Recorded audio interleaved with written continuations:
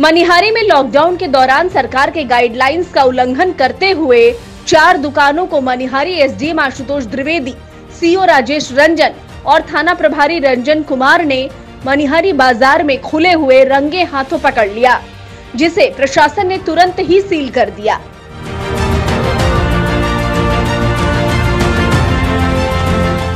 जानकारी के मुताबिक एसडीएम आशुतोष द्विवेदी ने बताया कि सरकार के गाइडलाइंस के अनुसार अनिवार्य चीज़ों की दुकानों को छोड़कर अन्य दुकानों को सप्ताह में चार दिन ही खुलना तय किया गया है।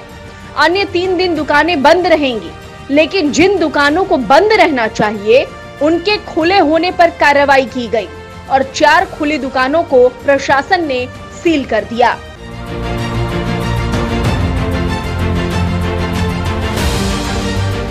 इसी के साथ एसडीएम ने जनता से अपील करते हुए कहा कि सरकार ने लॉकडाउन में छूट ज़रूर दी है, लेकिन खतरा अभी टला नहीं है।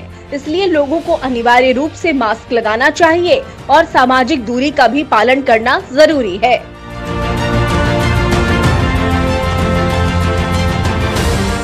आज जो 15 तारीख को नए गाइडलाइंस जारी किए हैं, उनके अनुपालन ना करने के कारण चार दुकानों को मनिहारी बाज़ार में सील किया गया है।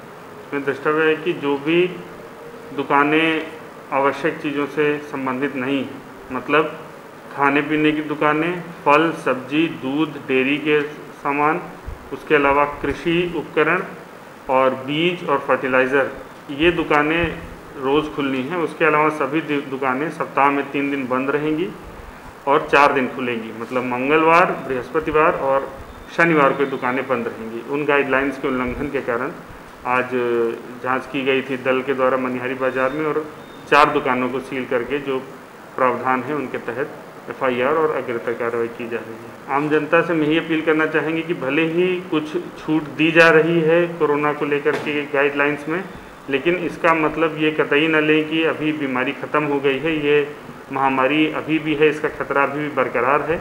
तो जो भी गाइडलाइंस उनका पालन करें, साथ ही साथ मास्क और सोशल डिस्टेंसिंग का विशेष ध्यान रखें और जो लोग इसके योग्य हैं, वो लोग टीकाकरण अवश्य करवाएँ।